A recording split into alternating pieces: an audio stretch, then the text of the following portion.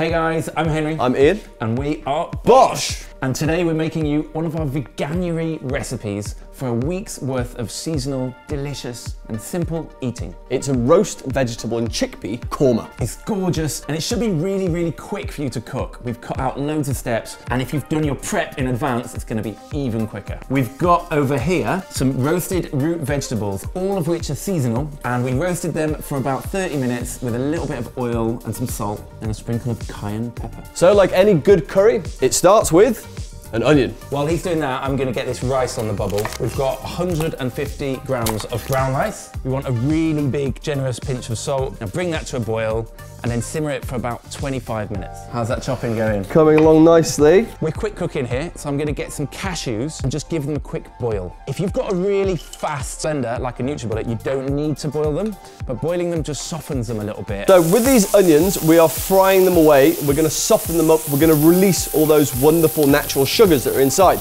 Perfect. Now these are, well, as good as they could be. Now what we're gonna do here is just go in with all of our spices immediately. Three garlic cloves, two tablespoons of ginger, pinch of both turmeric and ground nutmeg, half a teaspoon of cayenne pepper, two cinnamon sticks, five cardamom pods, which we broke with the back of a knife. And that's it, we're keeping it really simple. Already smells like a korma. Next up, we're gonna make a cashew cream. We've let our cashews just cool down a little bit because you don't wanna be pouring boiling water in there. And then we're just gonna add both the cashews and the water they've been soaking in to a NutriBullet. 60 grams of cashews and a little bit of water as well. Exactly, about five tablespoons of water. And then we're just gonna whiz.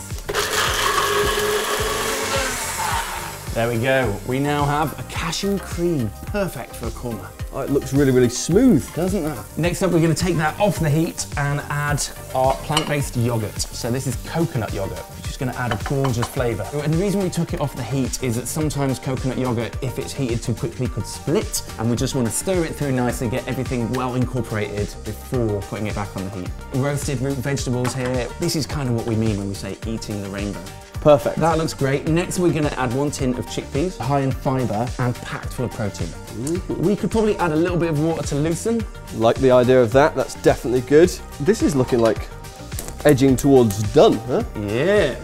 But it needs one more secret ingredient. It's green, it's leafy, it's spinach. Spinach. So this stuff is packed with goodness. And if you're doing veganuary or on a plant-based diet, you really want to get a lot of green veg. That's why we do shortcuts like this. So this is about 130 grams. Now that spinach has wilted away and the consistency is perfect. We'll just have a quick taste.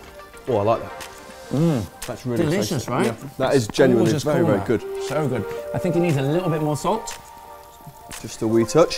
And it's a fairly punchy korma. It's got a bit of spice. So if you don't like it spicy, you can reduce that spice.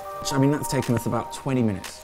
Really quick. And the main reason it was quick is because we already roasted those veggies. And it's packed, packed full of everything that you need to have a really successful, healthy veganuary and beyond. And beyond, exactly. So this will serve two people, um, or it will serve one person with leftovers, like if you're doing our veganuary meal plan. Lovely, tasty korma with fantastically, perfectly cooked rice. We're gonna have one for a meal right now, and we're gonna save a little bit for leftovers tomorrow. This is gonna be a really tasty lunch at work the next day. I think everyone will be super jealous. You might stink them out a little bit having a curry for lunch, but you know what? I don't care about that. Yeah, curry for lunch is It's a good thing. it's a win.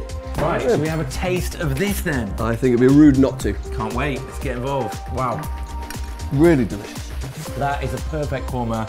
It's quick, it's seasonal, it's tasty, and it was, you know, 20 or so minutes. And it's very, very healthy. And we've got loads more recipes just like this one coming your way very soon, so be sure to subscribe. And if you like this video, hit like and please let us know what you thought in the comments. One more thing guys, we've also made a week's worth of recipes which includes this one to help you eat the rainbow for a week. The PDF that we've made is in the description below and it's going to help you nail veganuary. And it's got a shopping list, it's got a prep list, and it's gonna make you incredibly healthy for a week. And it's free. And that's it. Bish. Bash. Bosh!